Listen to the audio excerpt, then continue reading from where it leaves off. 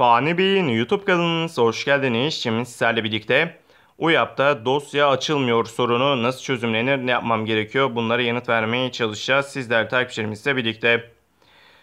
Burada aslında öncelikle bilgisayarda bulunan e, klasör C'ye giriyorsunuz. UYAP Data, UYAP Data Test ve e, burada V8 klasörlerini silmeniz gerekiyor. Sadece UYAP yazan klasörü silmeyin. Aynı klasörde bulunan kullanıcılar klasörünü açıyorsunuz ve buradan direkt olarak UYAP Data seçeneğini tıklayabilirsiniz.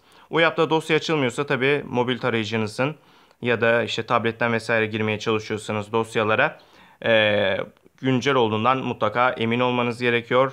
E, tarayıcınızdaki verilerini silip e, yeniden cihazınızı açıp kapatın. Dosya sisteme henüz eklenmemiş olabilir. Bu yüzden e, açılmama sorunu yaşayabilirsiniz. Bir süre kadar beklemeniz gerekiyor. Bunu size aktarmış olalım.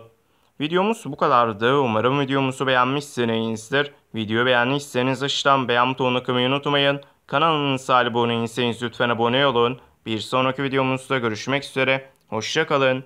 Kendinize iyi bakın.